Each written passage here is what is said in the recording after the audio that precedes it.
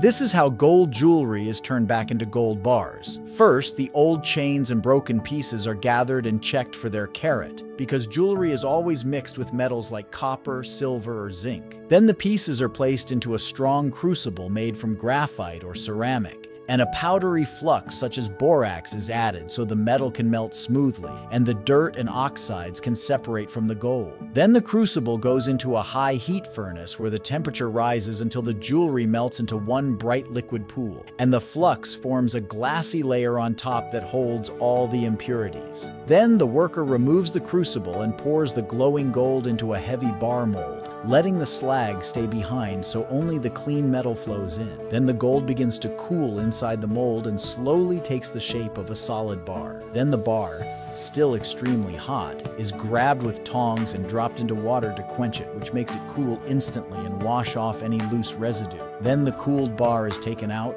cleaned and weighed so the final mass can be recorded, even though the bar is still an alloy and would need more refining to become pure 24 karat gold.